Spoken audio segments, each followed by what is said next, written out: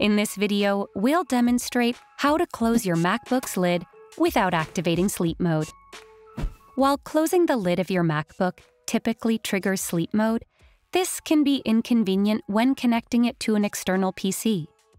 However, preventing your MacBook from entering sleep mode with the lid closed is straightforward.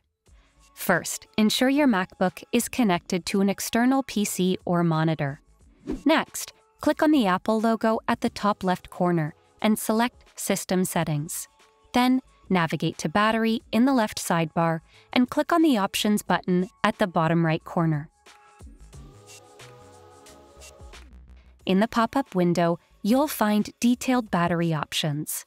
Simply toggle on Prevent automatic sleeping on power adapter when the display is off. Voila! Your Mac won't enter sleep mode when you close the lid. This video serves as your comprehensive guide to using your Mac with the lid closed while connected to an external PC. Make sure to subscribe to Guiding Tech and check out one of our specially curated videos just for you.